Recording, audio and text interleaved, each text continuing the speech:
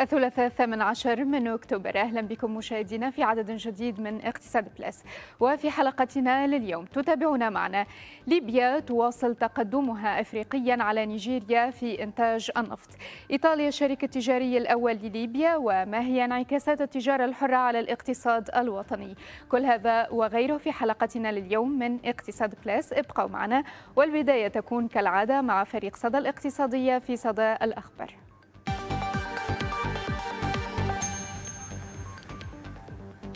في صدى الأخبار ينضم إلينا مباشرة من طرابلس الزميل وائل أحمد. وائل مساء النور ومرحبا بك. مرحبا بك وفاء أهلا بك وكل المشاهدين.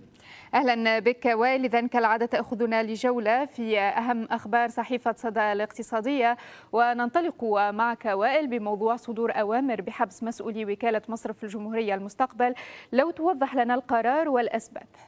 نعم عدة قرارات أصدرها السيد النائب العام صديق السور بشأن عمل المصارف والخروقات الموجودة داخل هذه المصارف.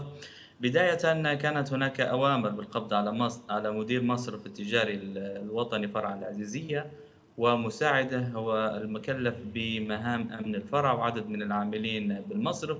وهذا لتعمدهم اختلاس مبلغ قدره 558 ألف دينار. كانت هناك أيضا أوامر بحبس مسؤولين بوكالة مصرف الجمهورية فرع المستقبل لارتكابهم جرائم استيلاء على المال العام. وكان هناك أمر ثالث بالقبض على مدير فرع مصرف الصحاري السواني والموظف القائم على إنجاز المعاملات المقاصات الإلكترونية. وهذا طبعا لوجود اختلاسات بقيمة 641 ألف دينار وكذلك رئيس هذا الفرع متهم بالاستيلاء على 2 مليون دينار باستعمال صكوك مصرفية مصدقة آه، مزورة. هذه أبرز آه، آه، يعني الأخبار التي نعم. قام السيد نائب العام باتخاذها خلال الفترة الماضية. في موضوع آخر تقرير صادر عن منظمة البلدان المصدرة للبترول أوبيك يقول أن ليبيا تتقدم على نيجيريا أفريقيا في إنتاج النفط. نعم هذا بحسب صحيفة البوينت بلانك نيوز قالت بأن أنغولا وليبيا حافظوا على تقدمهم على نيجيريا آه، كأكبر منتجي للنفط في القارة الأفريقية. وأكد هذا المقال بأن هناك متوسط إنتاج لدى نيجيريا من النفط الخام في سبتمبر الماضي بلغ مليون وسبعة وثمانين ألف برميل يوميا.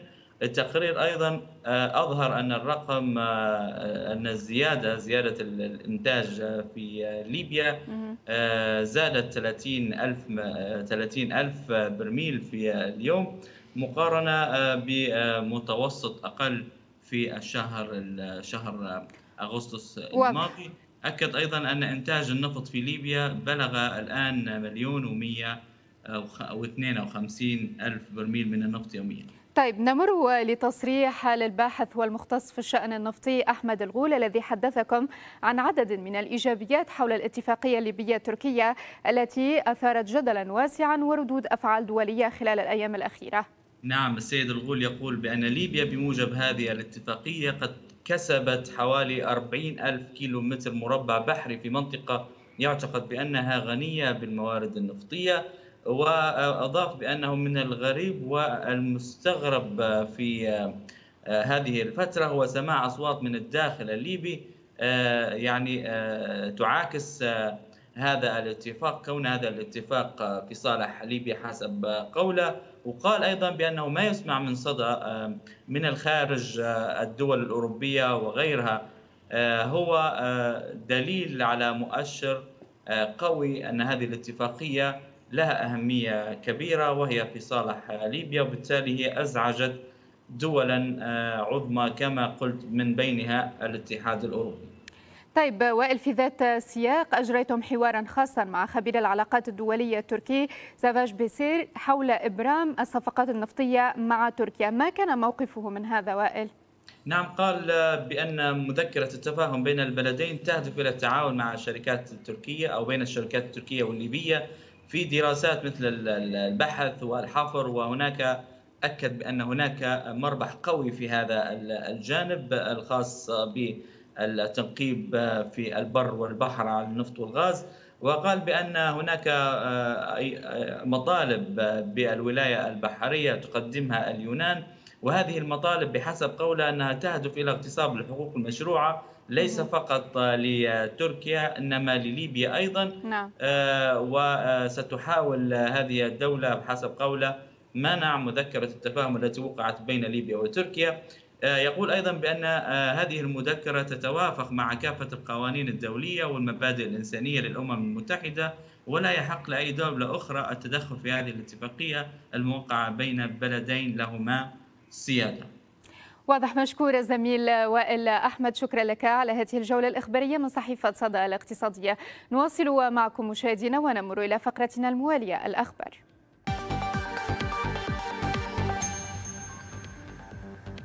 آخر الأخبار الاقتصادية ونستهلها بالعناوين. النيابة العامة تحيل مسؤولين بالمصرف التجاري إلى القضاء. زيادة في المبادلات التجارية بين إيطاليا وليبيا خلال 2022 والتجارة الحرة هل تضمن صمود الاقتصاد الوطني ضد الأزمات؟ كانت هذه العناوين وإليكم التفاصيل. أحالت النيابة العامة بمكتب النائب العام مدير فرع مصرف التجاري الوطني العزيزيه ومساعده وعددا من العاملين بالمصرف إلى القضاء وذلك بعد حبسهم احتياطيا وأوضح مكتب النائب العام في بيان له أن إحالة المتهمين إلى القضاء وحبسهم احتياطيا جاء على خلفية اتهامات وجهت للمسؤولين باختلاس 558 ألف دينار من 40 حسابا يخص زبائن المصرف. وذكر مكتب النائب العام أن المتهمين قاموا بسحوبات نقدية باستعمال سكوك مصرفية غير مدرجة في بيانات حسابات الزبائن وإجراء تحويلات مصرفية داخلية دون طلب من مديري الحسابات المفتوحة من طرف المصرف. في ملف آخر ارتفعت المبادلات التجارية بين إيطاليا وليبيا بنسبة بلغت 83.68% خلال الأشهر السبعة الأولى من عام الجاري مقارنة بالفترة نفسها من العام الماضي. وأظهرت بيانات صادرة عن مكتب وكالة الترويج الخارجي وتدويل الشركات الإيطالية في طرابلس أظهرت أن محافظة روما على أو أظهرت محافظة روما على موقعها كأول شريك تجاري لليبيا بقيمة قيمة تجاوزت 6.37 مليار يورو وذلك حسب وكالة الأنباء الإيطالية نوفا. وتقدمت بذلك إيطاليا على الصين التي استحوذت على 2.95 مليار يورو. تقلبات حادة مر بها الاقتصاد الوطني.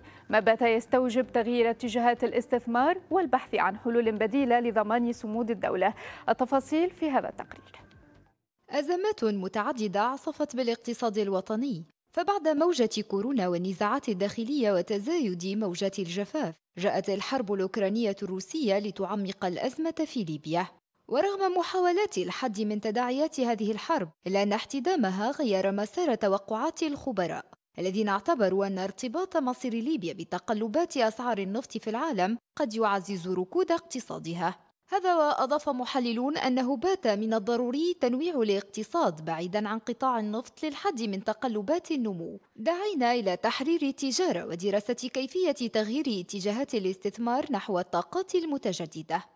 وفي هذا السياق تحدث الخبير الاقتصادي بمكتب شمال أفريقيا للجنة الاقتصادية بأفريقيا عن منطقة التجارة الحرة القارية الأفريقية التي يمكن أن تسمح لليبيا بالاستفادة من احتياطاتها الهيدروكربونية وتمنحها فرصة تنويع اقتصادها وشركائها التجاريين وبالتالي توفير فرص عمل لشبابها وتحسين قدرة اقتصادها على الصمود. فهل تنجح ليبيا في صياغة استراتيجية محكمة تمكنها من تنويع صادراتها وتوسيع مجال وارداتها بما يضمن صمود اقتصادها؟ إذا موضوع نناقش تفاصيله مع ضيفنا عبر الهاتف مباشرة الدكتور محمد أشحاتي الخبير الاقتصادي. دكتور محمد مساء النور ومرحبا بك معنا في اقتصاد بلس مساء الخير أهلا بك أختي الكريمة أهلا بك. نعم أهلا بك. اذا بداية كما كنت تستمع إلى التقرير نعلم أن هناك إجماع حول ضرورة تنويع الاقتصاد بعيدا عن قطاع النفط وذلك للحد من تقلبات النمو وتوفير فرص العمل. هل تعتبر دكتور أن التجارة الحرة من أهم الحلول البديلة لضمان الاقتصاد الوطني؟ بالطبع تحرير التجارة يعتبر من أهم يعني حوافز نمو الاقتصاد في أي دولة.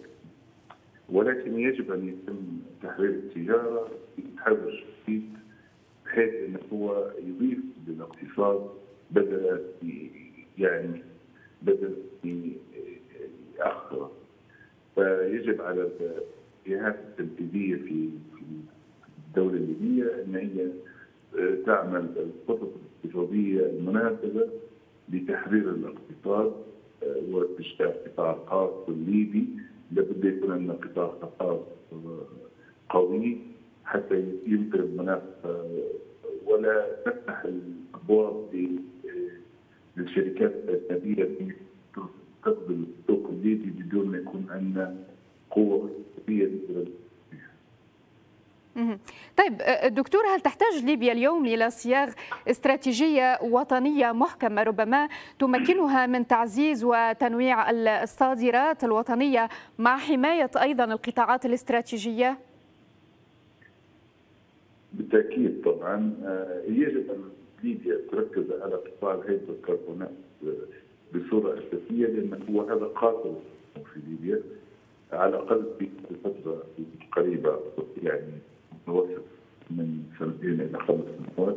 يجب أن يكون استثمارات كثيره في هذا القطاع ويجب أن يكون مدخل الاستثمار الاقتصادي من خلال يعني زيادة الاستثمار في هذا القطاع يتم تنميعه وهذه تجد كان موجودة في الخليج العربي هي قطر والامارات يجب أن ليبيا تستفيد من موقعها الجغرافي.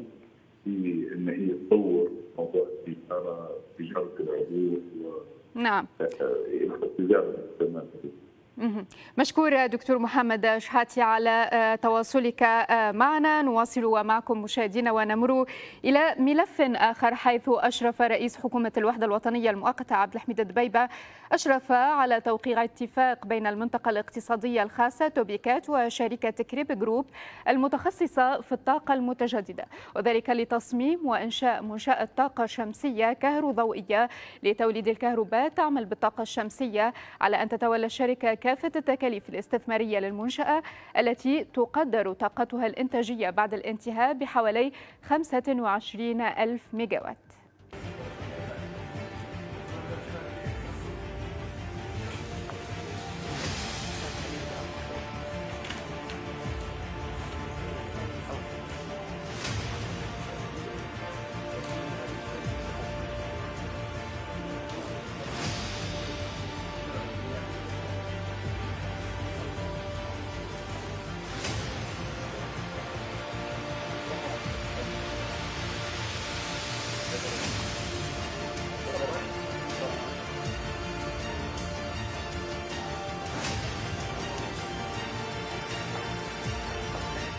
اليوم نحن في توقيع اتفاق مشروع استثماري مجمع الطاقة الشمسية بين كل من المنطقة الاقتصادية الخاصة توباكت وشركة تكريب كورب. هذا المشروع يهدف إلى إنتاج 25 ألف ميجا وات من الطاقة الشمسية الطاقة النظيفة البديلة. هذا المشروع يحقق أكثر من هدف في آن واحد. كونه مشروع استثماري يمول عن طريق ممولين خارج الميزانية بالتأكيد وهو أمر أساسي. كذلك آه، يوفر الطاقة الشمسية ليس فقط آه، من أجل استعاضة العجز الذي قد يحدث في الطاقة آه، الكهربائية في ليبيا بل كذلك لأغراض التصدير لأوروبا. الحقيقة نحن يعتبر هذا المشروع بإذن الله مشروع واعد. ومن النماذج المشاريع التي تحقق أهداف التنموية في وجود الاستدامة في الطاقة الكهربائية في ليبيا. لذلك نأمل بعد توقيع هذا المشروع اليوم أن نبدأ في الخطوات العملية لتنفيذه وبالتوفيق للجميع. مخالفات جسيمة في حق المواطن لا زالت ترصدها فرق التفتيش والرقابة وهذه المرة من بلدية أسواني هذا ما يجيش المحل لازم يكون برا من المحل طبعا في رائحة كريهة نظافة عامة سيئة جدا. بدون رخصة صحية عندها. أثناء الزيارة لدور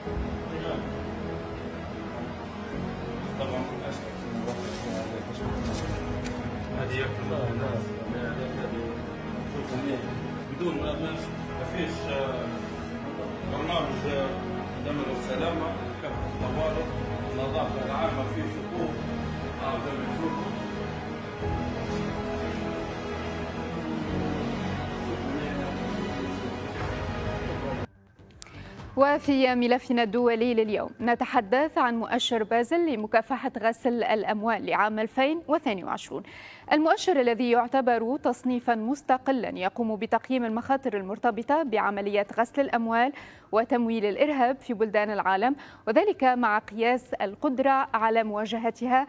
اعتمادا على مؤشرات من قبيل جودة إطار مكافحة غسل الأموال وتمويل الإرهاب وخطر الفساد والشفافية والمعايير المالية والشفافية العامة والمساءلة إضافة إلى المخاطر السياسية والقانونية حيث ارتقى المغرب ب 13 مرتبة في هذا المؤشر مما يعكس الجهود التي تبذلها المملكة في سبيل مغادرة اللائحة الرمادية لغسل الأموال وتمويل الإرهاب شهر أكتوبر الماضي. وجاء المغرب في المركز الرابع والستون عالميا بمؤشر بازل لمكافحة غسل الأموال للسنة الجارية بتنقيط بلغ 5.16 محققا بذلك تقدما ملحوظا عن السنة الماضية التي وضع فيها المؤشر المملكة في المركز 51 عالميا. هذا وتقدمت تونس هي الأخرى بنحو 20 مرتبة بعد أن حلت في المرتبة السابعة والسبعون برصيد نقاط بلغ 89.4 على 10 علما وأن تونس حلت في المرتبة السابعة والخمسون خلال السنة الماضية. ويعتمد المؤشر على مؤشرات من قبيل جودة إطار مكافحة غسيل الأموال وتمويل الإرهاب وخطر الفساد والشفافية والمعايير المالية والشفافية العامة والمساءلة إضافة إلى المخاطر السياسية والقانونية. وتصدرت فنلندا تصنيفها المؤشر لهذه السنة ب 2.88 نقطة متبوعة بأندورا ب 2.89 نقطة السويد 3.12 نقطة إيسلندا 3.31 نقطة نيوزيلندا 3.32 نقطة ثم سان مارينو ب 3.34 نقطة. وفي ذيل الترتيب حلت جمهورية الكونغو الديمقراطية في المركز الأخير ب 8.30 نقطة. وحاول المؤشر خلال هذه السنة تغطية مجهودات مكافحة غسل الأموال وتمويل الإرهاب وقياس المخاطر المرتبطة بها في 128 دولة عوض 110 بلدا فقط خلال السنة الفارطة حيث سجل على العموم أن التقدم في معالجة مخاطر غسل الأموال وتمويل الإرهاب تشوبه مجموعة من العوائق بالكثير من البلدان مشيرا إلى أن متوسط المخاطر ما زال عالقا عند 5.5 نقطة من 10 نقاط. وبهذا مشاهدينا نكون قد وصلنا لنهاية جولتنا الإخبارية فاصل قصير ونأخذكم لجولة في الأسعار.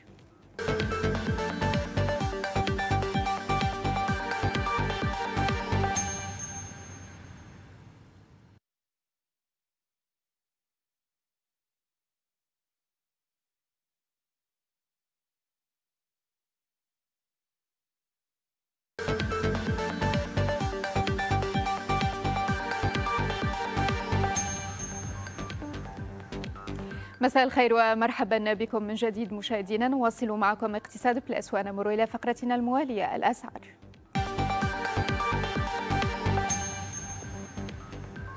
آخر الأسعار المتداولة لليوم نتابعها في هذا التقرير.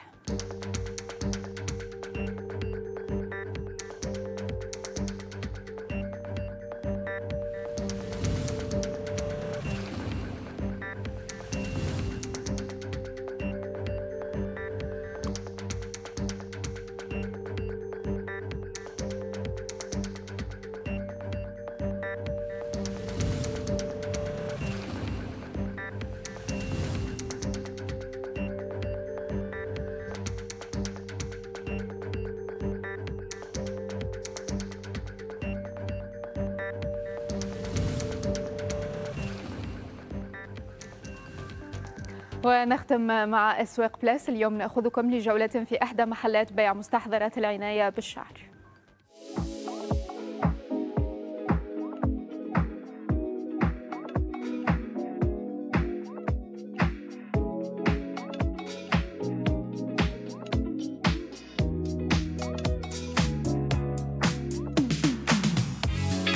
نأخذكم جولة في المحل وناخذ مع بعضنا بعض الأسعار. النيجرا اللتر 450 ال 100 ملي ب 70 دينار الشامبو البلسم مع بعضهم 80 دينار السيروم 65 عندنا ماركة GK ال 100 ملي ب 130 الشامبو البلسم 140 والسيروم 85 عندنا الأمازون المية ملي بستين دينار الشامبو والبلسم مية وخمسة وعشرين المية ملي بميتين دينار. وعندنا النانو بليكس شركة الفيتا جولد المية ملي تسعين دينار والعلاج بخمسة وسبعين والمية ملي بستين دينار الشعرة الجافة عندنا السولاري اللتر 450 والشامبو البلسم 120 و150 ملي 95 والسيروم 75 وال100 ملي ب 60 دينار. والبرايم اللتر ب 560 الشامبو والبلسم 90 مع بعضهم القطعة ب 45 والسيروم ب 60 باكو شامبو قبل وسيروم وبروتين ب 95 والأسترا ب 350 عندنا النشط الحراري ب 270 الأسترا 335 النشط الدائري 300 الاستشوار والاسترا مع بعضهم ب 250 المجفف بروحه 220 نفس الشيء 220 والأسترا هني 215 للشعر المصبوغة هذه بزيت الأرجان 200 دينار وهذه بتاع البروتين والكراتين ب 250 وهذه بزيت اللوز ب 265 وهذه اللؤلؤ ب 285 وهذه برضه ب 250 لا لا انزل لقطة لقطة فوت ما فيهم شلبة ما فيهم شلبة. عندنا برضو المنتجات بتاع البشرة الشركة الغنية عن التعريف دكتور رشيد. عندنا فيتامين سي وعندنا آه، مزيل مكياج وكريم تفتيح. وعندنا برضو بالألوفيرا مزيل مكياج وعندنا الطقم الذهبي ينباع بالقطع أو بال set كامل مع بعضها وهذا أقنعة بالذهبي وبالفيتامين سي وبالألوفيرا وبالفحم. وعندنا الشامبو والبلسم بتاع اللوريال عندنا للشعر المصبوغة عندنا التساقط عندنا هذا الشامبو ال silver اللي يثبت لون الصبغة. سعر القطعة 40 دينار والشامبو البلسم مع بعضهم 80 دينار. نهاية اقتصاد plus لليوم. شكرا لكم على حسن المتابعة والاهتمام. في أمان الله.